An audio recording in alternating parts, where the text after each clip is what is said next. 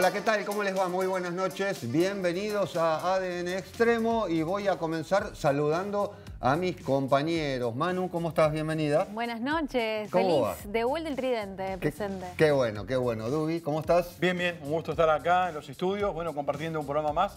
Eh, un horario atípico, ¿no? Vamos los miércoles, Sí. pero hoy este, vamos a estar acompañándolos. Bien, con mucha información, mucha información relacionada al deporte motor. En el día de hoy, uno de los temas que tenemos es la eh, presentación del automovilismo en pista en el Carlos Romero de Tolwyn, sexta fecha para la clase 3, para el turismo pista y para el TC Fueguino. Vamos a estar desarrollando todo lo que sucedió el pasado fin de semana. Sí, y además también estuvimos presentes el día domingo con la octava fecha del Campeonato Provincial de Enduro Cross que se llevó a cabo en la ciudad de Ushuaia y van a estar acompañándonos dos protagonistas junto a nosotros, Santino Villarruel y Luciano Fernández. Nos van a contar un poco sobre cómo viven esta última fecha del campeonato. Bueno, y además también estaremos haciendo un adelanto y un resumen de lo que ha dejado el ISDE 97 en San Juan, el Internacional Six Days de Enduro, donde estuvimos presentes allí durante seis días, como lo indica el formato de la carrera, mostrándoles un poco de lo que ha sucedido allí en suelo sanjuanino con el desarrollo de esta carrera y que ya estamos viendo y disfrutando de las imágenes, Manuela. Sí, mucha exigencia, ¿no? Seis días en donde los pilotos tienen que enfrentarse a las grandes temperaturas que estuvieron haciendo ahí en la provincia de San Juan. Más de 40 grados eh, promedio por cada día, eso ya habla muchísimo sobre cómo se tuvieron que preparar la previa y encarar sobre todo los circuitos, los enlaces que tienen más o menos 200 kilómetros por jornada. Exactamente, sí, más de 200 kilómetros eh, entre tramos cronometrados, test cross, enduro cross y los enlaces, con una temperatura que este, fue violenta el primer día, una sensación térmica que llegó a, 300, a 45 grados, 340 son los pilotos, los 341 pilotos que fueron de la partida y con algunos números, ¿no? Como para ir entrando en el desarrollo de lo que ha sido este ISDE 97 que nuevamente llega a, a San Juan Sí. como había sucedido años atrás. Sí, bueno, esta es la segunda vez que se elige San Juan como lugar para que se lleve adelante esta 97 edición. En 2014 había sido la primera vez en que se seleccionó para que se haga esta competencia. Y bueno, y también la convocatoria de los pilotos para estar allí presentes. Y también tuvimos representantes fueguinos, hablando ¿no? del tridente eh, de mujeres en la categoría, donde estuvo también Julieta Jerez presente. Sí, efectivamente, estuvo Julieta Jerez, eh, con la cual nosotros teníamos muchísimas expectativas, ¿no? Porque conformaba el seleccionado argentino junto a eh, Melina Bretilot, la representante de San Juan, como así también la riojana Carla Scaglioni. En este caso, ella, Scaglioni, era la que más experiencia tenía dentro de este formato de carreras, era su tercer ISDE, había hecho el primero de ellos eh, en el año 2018 en Viña del Mar, después hizo uno en Europa, donde actualmente reside y ahora representando la albiceleste en casa, como lo decía en cada una de las charlas que manteníamos al finalizar cada día. Como para ir teniendo algunos números concretos, fueron 27 naciones, 27 países los que se dieron cita a este evento mundial que arrancó en el año 1913, es el más antiguo del planeta y 341 pilotos en la categoría World Trophy. Fueron 12 los países que estuvieron presentes y allí nuestro seleccionado argentino compuesto por Nicolás Cútulas, por Cristian Arriegada, Adolfo Scaglioni y Tomás Gómez. En cuanto a la categoría Junior Trophy, 11 países, 33 pilotos y allí también teníamos representación argentina con Lucas Godoy, con Cristóbal Solá y José María Mercado, mientras que en el equipo femenino recién las nombrábamos, ¿no, Manu? Sí. Eh, las tres representantes argentinas con ocho países y 24 mujeres que también buscaban los mejores resultados a lo largo de estos seis días. Sí, bueno, y hablando un poquito de las categorías ¿no? que tiene este evento, la World Trophy es una de las que más competitividad tuvo, ¿no? Enfrentándose como, por ejemplo, Estados Unidos, eh, Australia, que tuvo un gran eh, posicionamiento en el primer día y lo pudo mantener después, y también la categoría de Women Trophy, Junior Trophy, que son aquellos que se encuentran menos de 23 años, y también la categoría para los amateurs, que es la de clubes, que siempre tiene mayor participación, ¿no? Claro, sí. Acá en la de clubes había un total de 240 pilotos, donde había pilotos de Gran Bretaña, de Estados Unidos, de Argentina, de Brasil, de Colombia, de Alemania, de Francia, de Chile, Italia, Portugal, Suiza, Uruguay, Holanda, España, Eslovaquia, Suecia y también un equipo conformado eh, por FIM Latinoamérica. Eh, pasó de todo. Eh, más allá de la temperatura, la exigencia diaria iba desgastando a los pilotos. Hoy vamos a hacer un pequeño resumen, un adelanto, porque tenemos pensado y programado junto al equipo de producción llevar a cabo un programa especial con muchos más detalles de lo que ha sucedido aquí. Pero dentro de lo que ha sucedido tenemos que destacar a un Josep García, el piloto español, que de las 31 pruebas se quedó con 21 triunfos, 21 scratch para el piloto español, mientras que otra de las figuras que también lo conocimos en el pasado programa de ADN Extremo fue el piloto de la XR que se llevó todas las miradas y todos los aplausos eh, dentro de lo que ha sido esta edición. Pero tenemos voces de protagonistas. Sí, vamos a escucharlas si te parece primer día partió muy duro este Sick Day. Eh, la verdad que dentro de todo, a pesar de lo duro, el calor, eh, el, terreno, eh, como equipo nos hemos consolidado, estamos súper contentos por cómo se han dado los días, las cosas, así que la verdad que dentro de todo lo, lo que se ha sufrido ha sido, han sido días muy positivos. Estamos muy unidos como equipo, así que también nos estamos dando fuerza todos los días y con mente positiva. Sé que se vienen días duros, así que esperamos seguir firme ahí. Estoy con una chilena, Valeria Rodríguez, y brasileña, Bárbara Neves, que de verdad que ha sido un equipo que nos, nos hemos apoyado día a día y yo creo que eso se ha notado eh, en los resultados. Como decía, tenemos un equipo, una team manager al 7 y esperamos estos tres días que quedan seguir así. La verdad que las especiales estaban muy rotas, eh, muy técnicas. Eh, el objetivo era empujar desde buena mañana, marqué una primera vuelta muy buena con las tres especiales. En la segunda también fue muy bien, pero tuve una caída en la primera que me hizo perder varios segundos. Pero bueno, contento de haber ganado otra la general y, y hacer obviamente un gran trabajo para, para, todo el equipo. Tanto el día 3 como el día 4 se notó muchísimo que, que, no hice ese calor terrorífico y la verdad que yo creo que a todos los pilotos eh, nos afectó en el rendimiento hacia mejor y nada, eh, veremos a ver mañana lo que nos espera.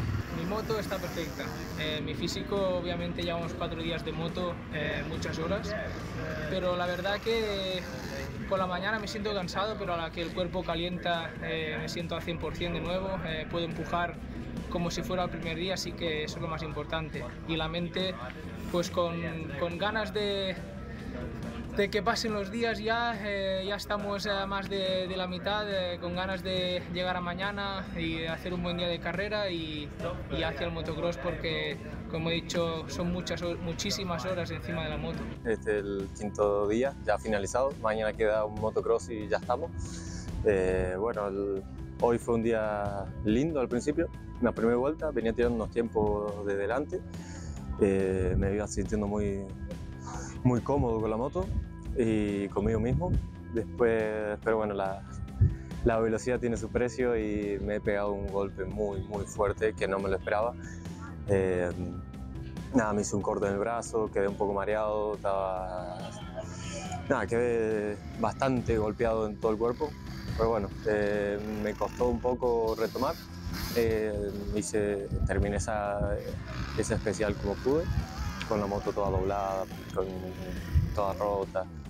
Pero bueno, la arreglé un poco, fui a la otra crono, todavía seguía, seguía medio mareado y me lancé a terminarla. Así que, pero después me empecé a despertar y en la última creo que tiré un buen tiempo. Mm. Y nada, ya estamos, cambié la goma, mañana motocross a disfrutar, tirar un par de saltos y disfrutar de la gente. Estuvo duro, la verdad que sufrí muchísimo y me costó muchísimo llegar al final, así que estoy muy contenta.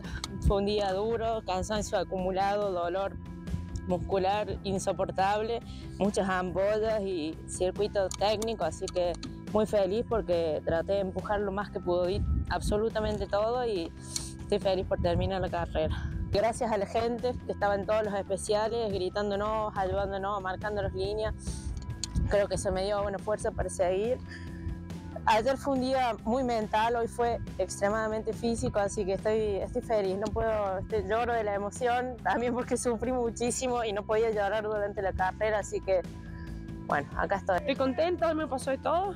Se me desmoronó el mudo, así que estuve con la cubierta total con el hambre toda la carrera. Después me caí y partí la manijera para seguir perdiendo tiempo. Después me golpeé en el pinar fuerte. Pero bueno, terminé justo, justo, justo, justo. Pude llegar, así que estoy contenta. Hoy fue el, digamos, creo que el día que más me costó. Sí. Y ahora nada, mañana disfrutar el motocross, que es lo que queda, y listo. ¿A descansar? A descansar, sí. Sí, sí, sí.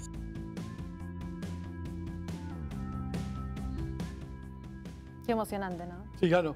Era el quinto día y ya se sabía que el otro día solamente había que hacer eh, un enlace hasta el circuito de Acer para completar el último cross test y bueno, la dureza que presenta la carrera, porque tanto las mujeres como los hombres no solo transitan los enlaces y los especiales, sino también son sus propios mecánicos, cambian este, cubiertas, mousse, eh, se encargan de todo y la verdad que es muy pero muy exigente. Bien, bueno, ya te adelantamos, ¿no? Vamos a estar anunciando en nuestra red social de ADN cuándo vamos a realizar el programa especial, pero mientras te vamos a compartir las clasificaciones finales, los resultados finales de cómo quedaron las categorías, los diferentes países. Arrancamos, Dubi, si te parece, en la categoría de Women Trophy. Sí. En primer lugar se lo llevó Estados Unidos, ¿eh? En segundo puesto quedó para Australia, ahí. En tercer puesto para FIM, LA. Y el quinto puesto logró consagrarse Argentina. Sí, en en- Junior Trophy, Sí, en Junior Trophy con 11 naciones, Francia se quedó con la victoria, segundo puesto para Estados Unidos y tercer lugar para Suecia. Aquí destacamos el trabajo de Argentina que alcanzó el cuarto lugar eh, con Lucas Godoy, con Cristóbal Solá y José María Mercado. Bien, y en la categoría mayor, World Trophy, el primer lugar se lo terminó quedando Estados Unidos, ni más ni menos, donde logró superar a Gran Bretaña, que se había quedado el año pasado con el primer lugar. Y el tercer puesto queda para Francia y en octavo lugar quedó Argentina. Y entre los clubes, eh, Club Team Award, Estados Unidos nuevamente aparece como una de las eh, grandes fortalezas dentro del motociclismo. Hizo el 1-2 y aquí Argentina alcanzó el podio de la mano de Nicolás Giustosi, de Fernando Hierrizuelo y de Luciano Bellone. Perfecto. Bueno, ya estaremos ahí atentos para anunciar de cuándo vamos a estar realizando el programa especial de todo lo que aconteció al Six Days. Pero ahora vamos a ir a una pausa ¿eh? y te invitamos a que te quedes. Ya venimos.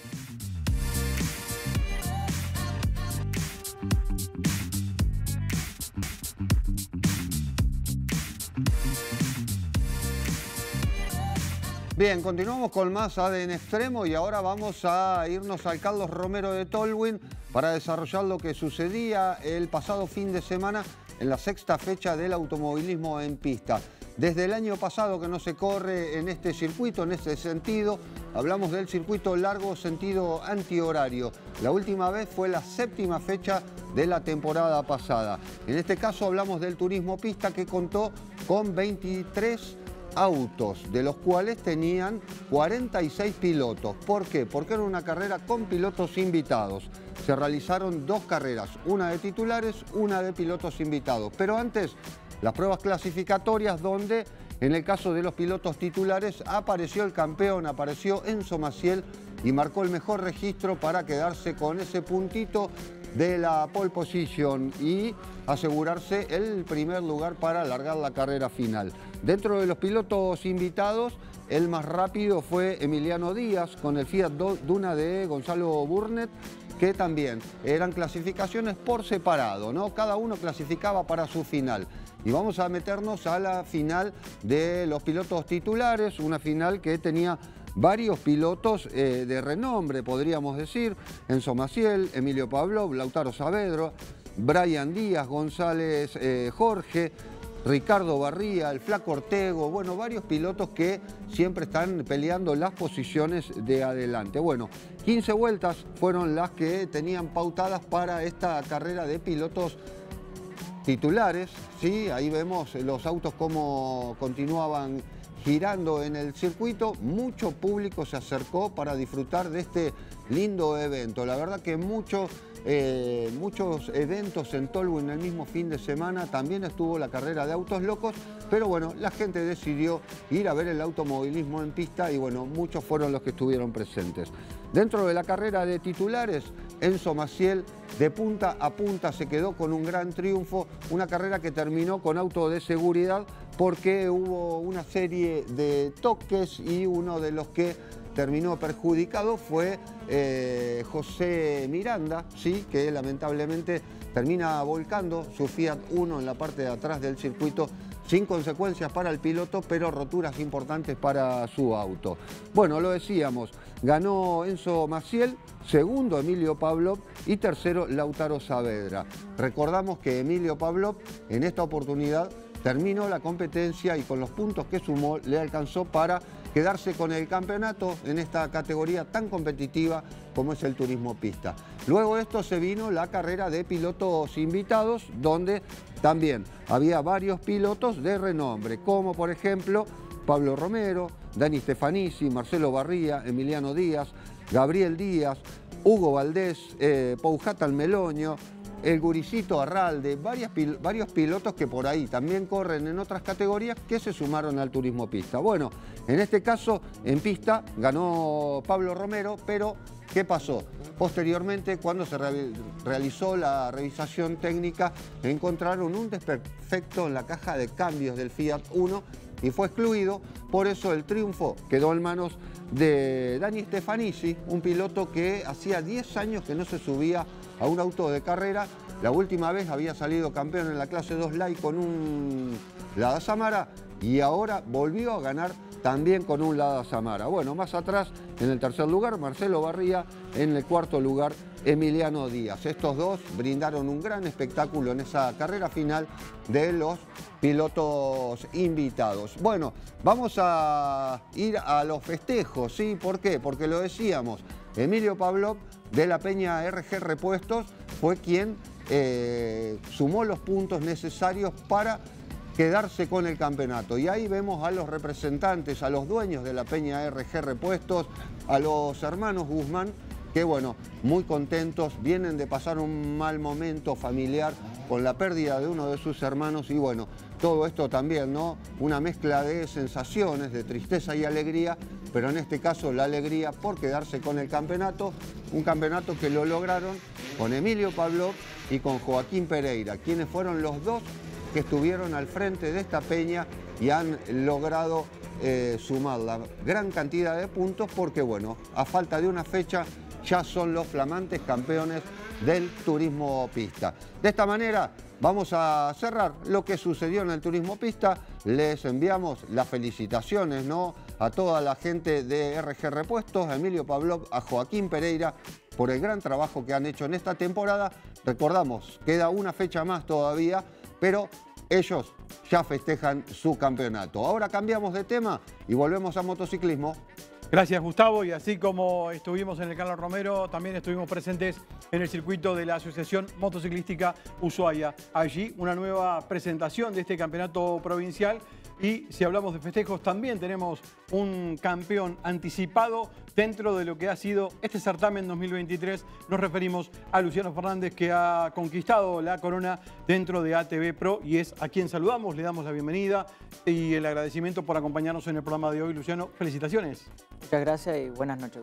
Bueno, contanos cómo ha sido el desarrollo de esta fecha que a través de los puntos obtenidos te permite ser el campeón, teniendo en cuenta que hay una diferencia de 75 puntos y la última fecha va a entregar un coeficiente 1.5, es decir, que te sobran 15 puntos todavía.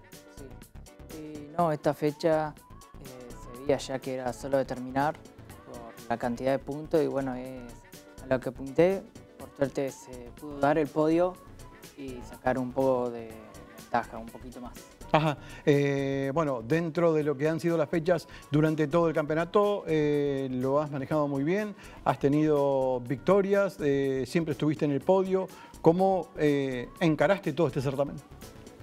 no, sí, mi objetivo este año era por estar entre los primeros tres de la categoría y tuve la suerte de que se me pudo ir dando todas las fechas y bueno, así se dio el resultado de ahora.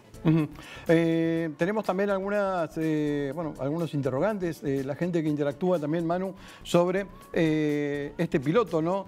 hay algunas preguntas de, la gente que también está acompañándonos en esta emisión y lo ha acompañado a Luciano, Manu, ¿cierto? Sí, buenas noches, Luciano. Bueno, y vamos a compartirte un poquito las preguntas que tiene la gente para vos en Instagram nos preguntan lo siguiente. Acá San Pedro y Facu dice, ¿quién es tu máximo referente a nivel local en cuanto a pilotos de ATV?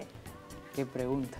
Em, no sé, hay un montón. Puede ser también em, separando entre cross y enduro. Eh, pueden ser como Daniel Cárdenas, Poroto Bronzovich o Tommy Sedner, igual Tommy Barría, que son muy grandes pilotos. Excelentes referentes son los que, los que marcaste. Manejan, son una locura. Eh, ¿Hay alguna otra pregunta, Manu? Sí, seguimos, seguimos con más preguntitas. Acá la siguiente, Gustavo Barak, dice, ¿cómo haces para mantener un buen ritmo en carrera? Eh, mucho gimnasio. Ahí está la clave. Eso sí. Sí, voy todos los días al gimnasio y yo creo que ahí saco una gran ventaja.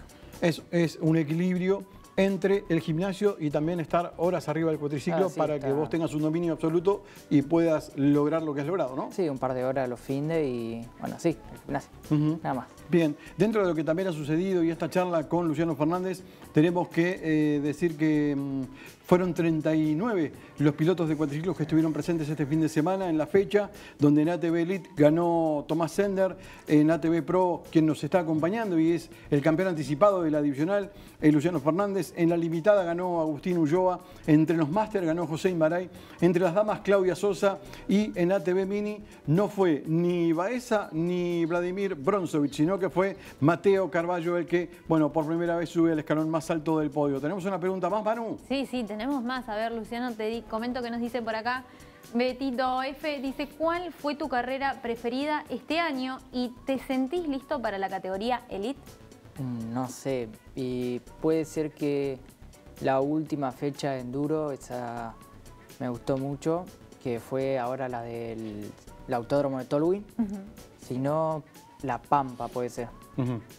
Y no sé, si voy a ver si estoy listo el año que viene, cuando esté a punto de largar con, con la Elite. ¿Y qué hay que ver? Y cómo, cómo, cómo estoy en, en lo físico en ese entonces y cómo esté el 4. Vos cuando termina una carrera eh, a través del sistema MyLabs, donde se arroja toda la información de las vueltas, ¿comparás con algunos fondos verdes? Sí, sí, Y- sí, siempre. ¿Y cómo estamos posicionados hoy? Eh, depende de la carrera.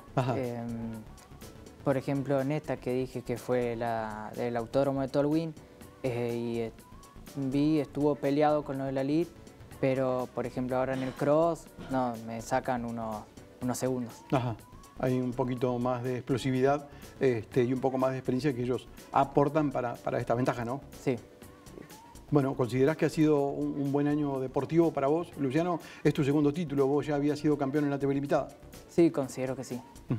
Eh, además, se le suma el plus de haber conseguido un triunfo en el Enduro Internacional Aniversario de Porvenir, que también es uno de los clásicos eh, que tiene gran participación de pilotos de Tierra del Fuego. Sí, Ahí estuviste con Fondo Verde, sí, por decisión propia, sí, y querer medirte con los más experimentados. claro. Bueno, bien. ¿Hay alguna otra pregunta más, Manu? Sí, tenemos más para compartir. Te reiteramos que en Nada en Extremo podés encontrar todo el contenido. Y acá nos dice Meli Barak, de los circuitos que corriste este año, ¿cuál fue el más difícil y el que más te gustó? Y uh, no me acuerdo cuál fue el más difícil. Creo que hasta ahora no hubo ninguno que haya algo muy complicado, pero puede ser que sea ahora la última fecha, que la reserva, si no me equivoco. ¿El que tenía hielo y nieve? Eh, no, no, ahora No. la última fecha que se viene en diciembre. Ajá. Esa puede ser que sea la más difícil. Ajá. Y en cuanto a complejidad de lo más difícil, yo creo que también esa fecha que tenía hielo y nieve Sí, este, la correntina. La correntina, claro. fue bastante difícil, ¿no? Y- Ha- Había que manejar la potencia del cuatri para no hacer trompos. Claro, no, no había que mm, acelerar de más. Claro. Muy bien, bueno, seguimos con más preguntas. Por acá tenemos a Lucas Olmedo que nos dice, ¿te ves corriendo en un futuro afuera del país? Epa. Ojalá que sí. O sea, es un sueño estar corriendo afuera por Estados Unidos o por ese sector. Bien. Bueno, 15 añitos nomás tiene eh, Luciano, ¿no? Sí. Bueno. A soñar, a soñar Claro. en grande. Y claro que se puede, claro que sí. Vamos, vamos con otra pregunta acá. Tiago Cárcamo nos dice, ¿cómo te preparás para la vuelta de Tierra del Fuego? El año que viene no voy a ser partícipe de esta, pero para la que va a ser la edición 41. Sí. Y sí, mucha hora arriba del cuatri, eh, varias hojas y, y ahí sí, vamos a apuntar lo físico. Puro gimnasio, correr, un- comer sano y demás. Hábitos saludables Sí, que suman a una mejor performance. Lucho, ¿se puede saber por qué no sos de la partida teniendo en cuenta estos resultados y el gran año deportivo eh, de tu ausencia en la BTDF 40? Porque corre mi hermano, la, va a debutar en la vuelta y queremos estar todos para él. Bien, perfecto. Bueno. Se corre en equipo, el equipo Lunati, este, bueno, da esta proyección, ¿no? Para acompañar al, al Benjamín que va a debutar. Sí. Bueno. ¿Tenemos alguna otra pregunta, Manu? Sí, acaban llegando las felicitaciones, ¿no? En este caso, Steffi Barak dice, te felicito por el esfuerzo para llegar a tus objetivos, vamos por más. Ah, muchas gracias, como siempre, a todos los que me felicitan y están ahí ayudando con sus palabras. Bárbaro. Eh, ¿Alguna más, Manu? ¿O hasta Eh, ahí ya- estamos? Ya por el momento estamos, Perfecto. así que ya estamos. Bueno, eh, ¿tenés ganas de agradecer a alguien, de nombrar a alguien en especial eh, por este campeonato ya anticipado? Eh, sí, a todo el equipo de Lunatic Riders, que lo forma mi familia como los amigos y los amigos de la familia que también van ahí, van a las carreras y son parte de la asistencia del cuatri y en sí de la emoción del equipo. Y ahí, Bueno. Perfecto. Bueno, lindo equipo, lindo grupo. Nosotros te agradecemos la presencia aquí en los estudios de Canal 13 para compartir esta vivencia, para felicitarte por este título y bueno, nos veremos quizás en la última fecha, ¿no? sí. Bueno, ahí lo, lo escuchábamos, compartíamos eh, la presencia, la palabra de eh, Lucho Fernández y campeón en ATV, pero nosotros hacemos una pausa y ya regresamos con más ADN Extremo.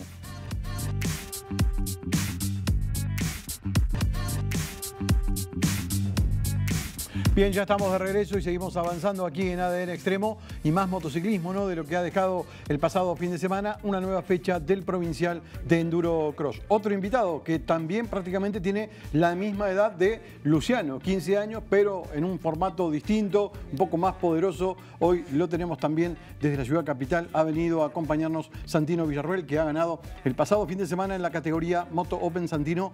Felicitaciones por la gran carrera que hiciste, ¿eh? muy bien.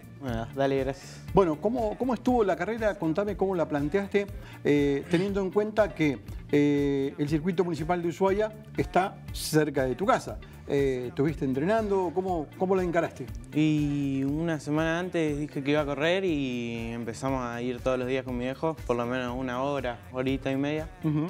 Y bueno, hasta que cerraron el circuito. Está bien. Está- estuviste un poquito alejado del motociclismo, ¿no? ¿Habían algunos inconvenientes con la moto? Eh, sí, que no conseguíamos embrague por ningún lado. Ajá. ¿Se Y- pudo subsanar? Sí, sí, Perfecto. ¿Y ese embriague se bancó todo lo que pasó el fin de semana? sí. Ajá. ¿Te gustó la carrera? ¿Cómo planteaste la primera manga? ¿Cómo saliste? Eh, y la primera manga iba a ver cómo largaba, que quería tratar de largar lo mejor posible. Ujú. Y mm, tuve mm, segundo, tuve segundo casi toda la manga, casi toda la primera manga. Y en la última vuelta lo pasé al primero, o sea, Fabricio Fenoglio. Sí. Y mm, después de pasar la subida del largador, se me trabó el freno de adelante, me caí y me volvió a pasar.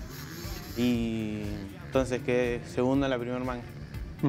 Y la segunda pude largar primero, la, o sea, entre las dos categorías. Ajá. Ahí marcaste el whole shot. Ahí marqué el whole shot. Muy bien. Y, mm, y bueno, no pude aguantar tanto, pero gané el whole shot Sí.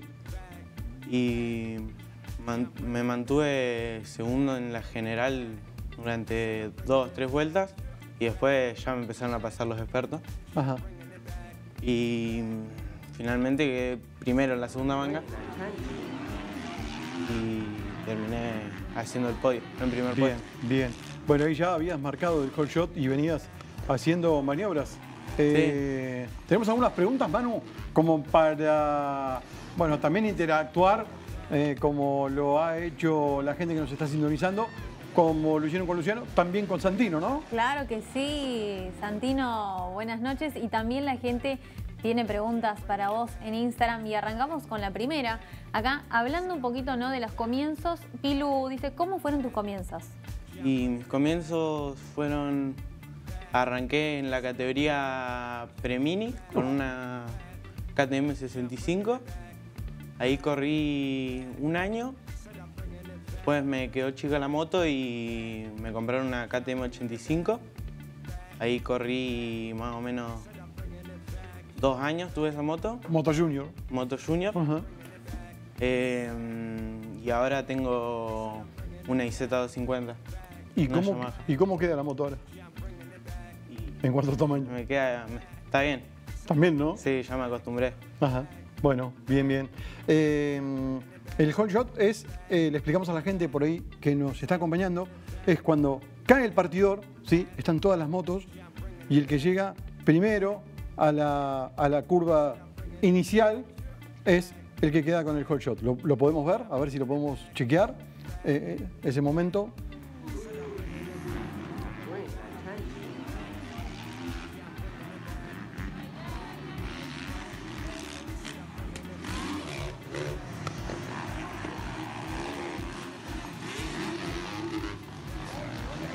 Bueno, y ya estabas dominando las acciones en- la manga, este, con lo que era el desarrollo de, de- de- de la carrera, ¿no? Eh, ¿Cómo te sentiste en el circuito de AMU? Y bien, bien. Ya que pude entrenar esa semanita, le di fuerte y bueno, ya me lo conocía el circuito. Dio sus frutos. Sí. Bien. Manu, ¿tenemos más preguntas? Sí, tenemos más preguntas. Acá, en este caso, George Bellico dice, ¿qué es lo que más te gusta de las motos? La adrenalina, la velocidad y más que nada porque mi tío corría antes y bueno, desde chiquito que me gustan las motos. ¿Que no corre más? ¿Eh? ¿No corre más? ¿Tu ¿Mi tío? No, sí, sigue corriendo. Ah, pensé que lo había jubilado ya, como dijiste, corría antes. eh, sigue, sigue siendo parte del motociclismo, ¿no? Sí, sí.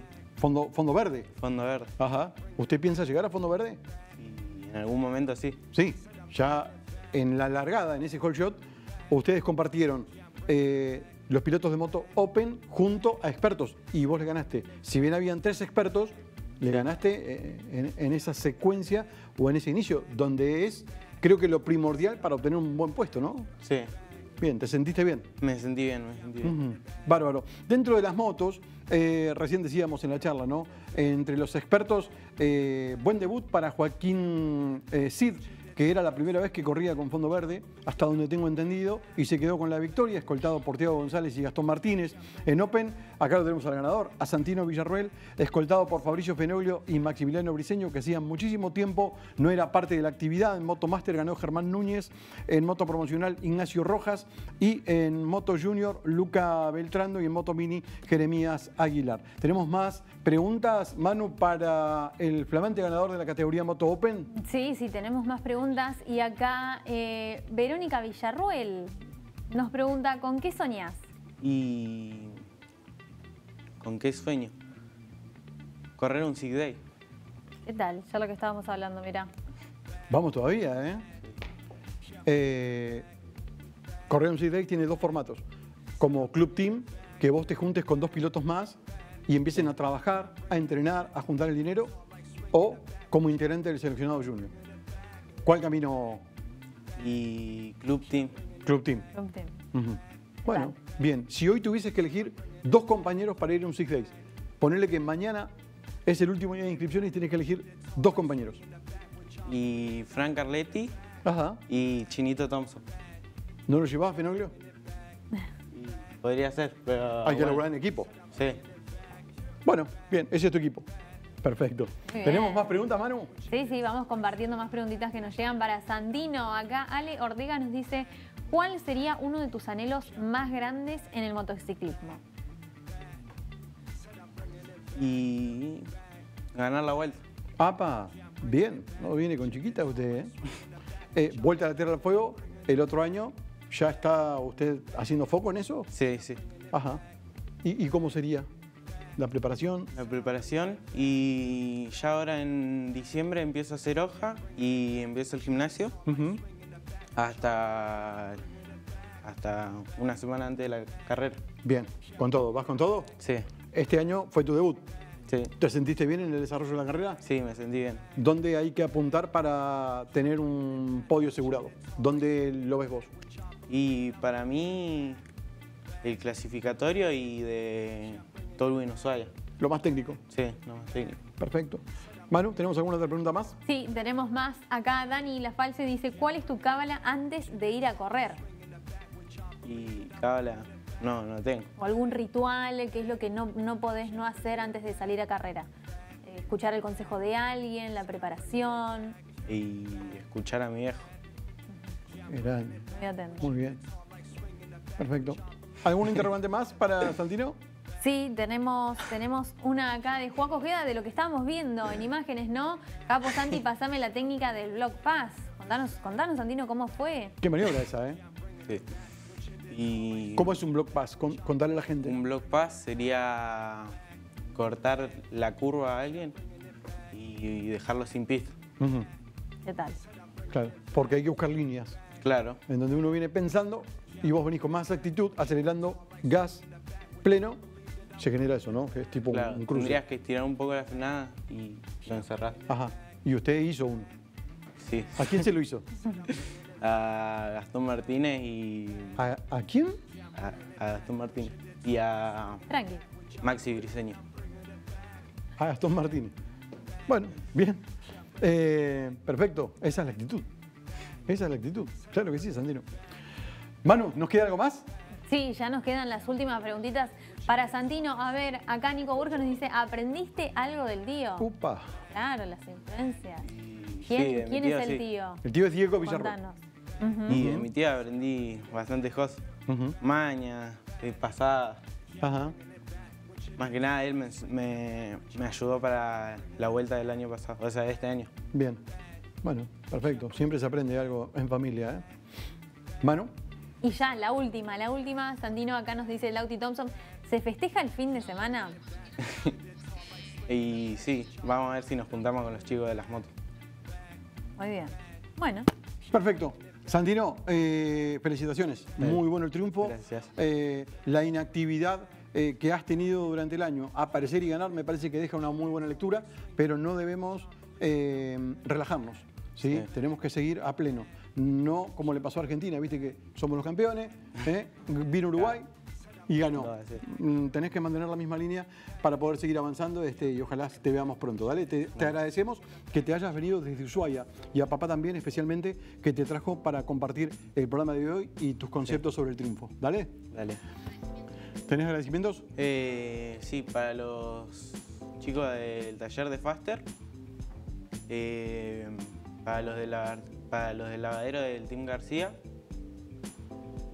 eh, para WMG Studios, que me hizo los números, eh, para Punta Polar, que me, me pegó todas las calcos en la moto, para, mm, para Pablo Grizuela, que me ayudó limpiando el carburador Sí. y poniendo la moto en condiciones. Perfecto. Eh, Ale Brizuela también, Ujú. Los hermanos Hermaliuk. eh, a los hermanos Hermaliuk, Sí. eh, a Gastón Ayala y al Gorila. Perfecto. Bueno, muchísimas gracias, Sandino. Felicitaciones nuevamente. Nosotros eh, tenemos una nota para compartir con la presidenta del Motoclub Río Grande, donde abordamos temas puntuales como la realización de la BTDF número 40, eh, lo que se va a venir con el Binacional de Motocross, que el próximo fin de semana estará desarrollando su segunda fecha, y también sobre la última competencia que nos confirmaba eh, la entrega de puntos coeficiente 1.5. Escuchamos a la presidenta del Motoclub. En las últimas horas hemos decidido que seguimos al frente de lo que es la organización de la edición número 40. Había habido un grupo que había manifestado intención, pero no se ha llegado a un acuerdo. Teníamos algunos puntos de vista distintos y bueno, eh, como seguimos al frente de lo que es la comisión hasta el 9 de marzo, hemos decidido encarar nosotros directamente la organización. Lleva mucho tiempo, mucho trabajo, por eso pretendíamos que alguien, ya desde el que se terminó la edición 39, pretendíamos que alguien viniera y empezara a ver cómo era el tema. Eh, bueno, eh, pudimos eh, tener ese grupo de- en septiembre recién, pero bueno, tenemos diferentes ideas y como nosotros somos los responsables de la comisión, hemos decidido que seguimos nosotros y bueno, encarando a full, ya estamos trabajando en eso. Eh, y bueno, vamos a tener novedades, pero obviamente ahora estamos eh, abocados a lo que es la última fecha. Nosotros desde marzo dijimos, por favor, acérquense, vean, vengan, vean, eh, fíjense, ponernos de acuerdo, empezar a trabajar en lo que es reglamentos, es una edición especial porque es 40, ver qué categorías se pueden sacar, qué categorías se pueden incorporar, por ser una edición más, que nada especial. Y bueno, eh, el tiempo pasó y seguimos nosotros. Tuvimos una reunión, eh, vino la gente del 18 de septiembre, muy orgullosos porque vinieron a, pedirnos nuestra colaboración en el tema de organización y con la logística que nosotros tenemos, eh, nos vamos a encargar de hacerle el crono, que no es nada menor. Eh, parte de nuestra comisión va a ser autoridad de prueba. Así que no, muy orgullosos y bueno, prestando un servicio eh, que es a lo que nos dedicamos nosotros, ¿no? A hacer cronometraje, comisarios de pista, director de la prueba. O sea, vamos, a ocupar cargos importantes y también nos sirve como experiencia con pilotos de otros lugares, ¿no? Estamos contentos por eso y a su vez eh, les pedimos que vengan para la Vuelta a la Tierra del Fuego a colaborar con nosotros y bueno, el compromiso está. La fecha es 8, 9 y 10, está pautada, hay que definir bien qué día la vamos a hacer de esos tres que tenemos, teniendo en cuenta que también hay otras disciplinas que cierran del deporte motor, que cierran ese fin de semana. Pero bueno, eh, hay un equipo que está trabajando en la reserva aborigen puntualmente. Nosotros tenemos que ir a supervisar. Ellos ahora tuvieron un viaje ahí en San Juan, así que lo habíamos pospuesto. Este fin de semana largo vamos a estar trabajando allá. Y sí, la decisión siempre a fin de año es poner punto y medio para que el campeonato se ponga más interesante y, y todos tengan chances. Bien, ahí eh, dejábamos un poquito el motociclismo y volvemos al Carlos Romero de Tolwyn para hablar del TC Fueguino, un TC Fueguino que comenzó con una inscripción de 10 autos, pero claro, el día sábado alguna rotura y alguna baja de alguno de los autos. Bueno, ahí vemos momento donde se iban a largar la serie, ¿no?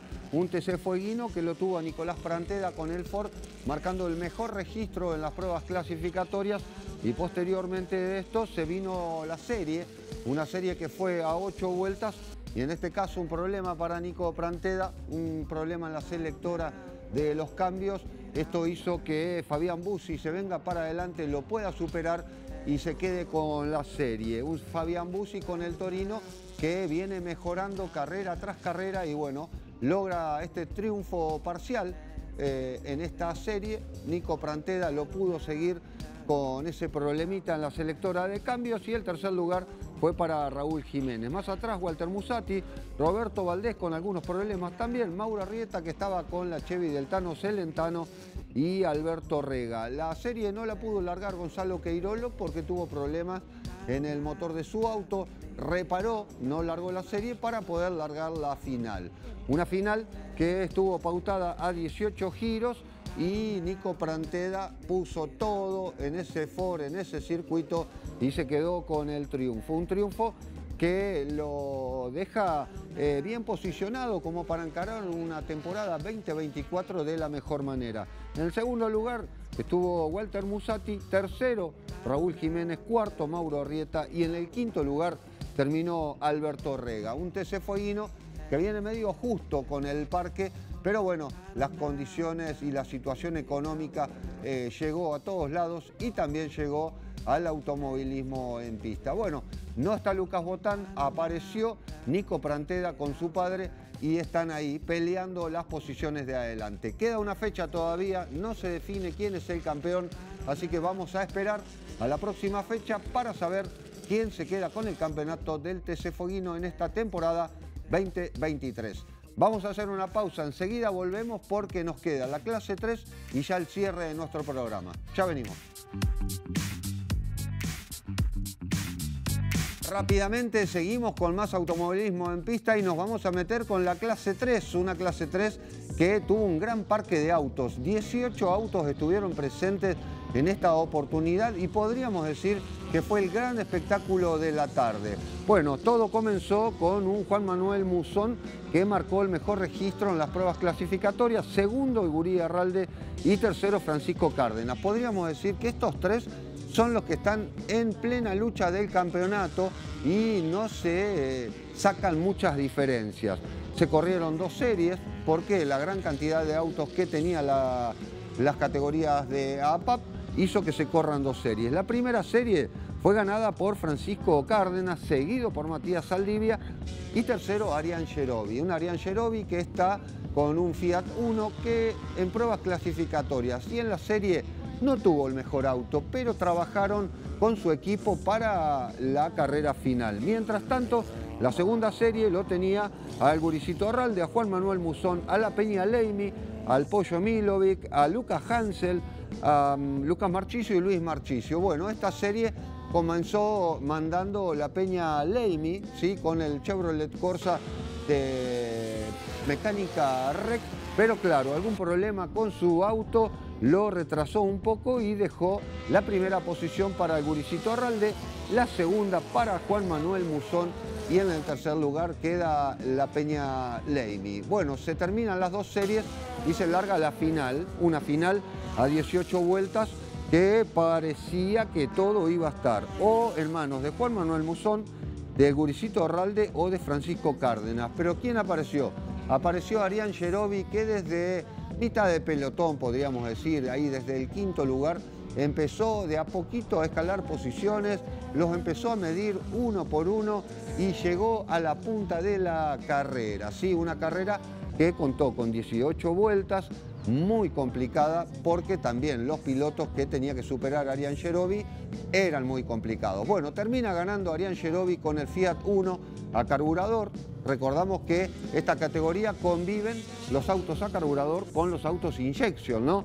Primero, Arián Gerovi. Segundo, Juan Manuel Musón. Tercero, el Guricito Arralde. Y cuarto, Francisco Cárdenas. Bueno, Musón, Arralde y Cárdenas están en plena pelea del campeonato, así que la próxima fecha va a ser una fecha doble. Se va a correr el sábado y se va a correr el domingo. Y ahí se va a definir quién es el campeón de la clase 3 en, la próxima, en esta temporada. Recordamos, próxima fecha 2 y 3 de diciembre, nuevamente en el Carlos Romero de Tolwyn, donde las categorías de APAP van a correr dos fechas, mientras que el TC y el Turismo Pista solamente va a correr una fecha ese fin de semana. Así que bueno, de esta manera cerramos con el automovilismo en pista de lo que dejó esta sexta fecha en el Carlos Romero de Tolwyn. Y les comento, mañana a las 10 de la mañana da inicio eh, el Gran Premio de la Hermandad Histórico, no va más. De ahora al más se llama Gran Premio de Regularidad de Tierra del Fuego. Esto lo dio a conocer el Automóvil Club Río Grande porque formó una subcomisión de regularidad que eh, va a comandar estas acciones. Está Miguel Castro, Fernando Sevillano a la cabeza y mañana a las 10 de la mañana de El Cano, ahí del Auto Sur del Cano, van a estar largando 17 autos que van a hacer el recorrido de las estancias y el petróleo hasta Estancia Sara, van a parar en Estancia Sara para hacer un almuerzo y después regresan a nuestra ciudad. Aproximadamente eh, una, una, gran cantidad de kilómetros. Veremos cómo está el clima, si acompaña o no acompaña, pero bueno, mañana hay actividad de los autos de regularidad hasta Estancia Zara y después vuelven acá al autódromo de nuestra ciudad.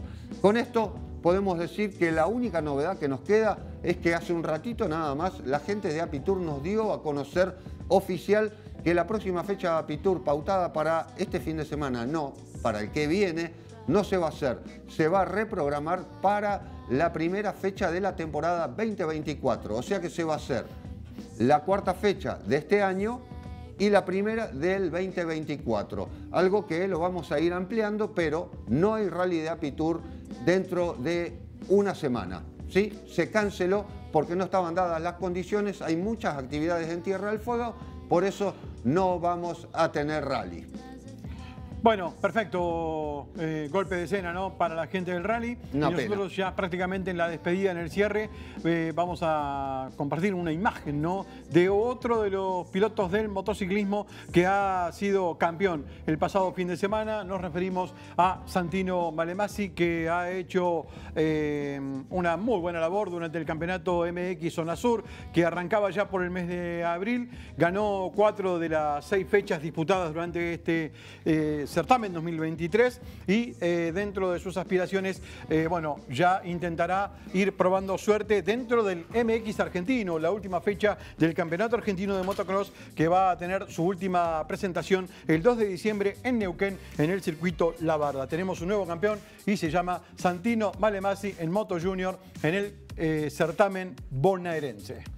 Bueno, de esta manera llegamos al final, eh, un programa con muy movidito, con muchas cosas para el día de hoy, lo hicimos bastante rapidito, pero bueno, nos reencontramos el próximo miércoles, Luis. Sí, sí, claro que sí, será hasta el próximo miércoles un gusto estar con vos, Manu, con vos, Gustavo, y con todos los televidentes. Gracias, Manu, nos vemos. Gracias a ustedes. No se olviden, el lunes también hay picadas en el Carlos Romero de Tolwyn con la gente de Picadas del Fin del Mundo. Nosotros nos reencontramos el próximo miércoles, como siempre, acá en ADN Extremo. Buenas noches.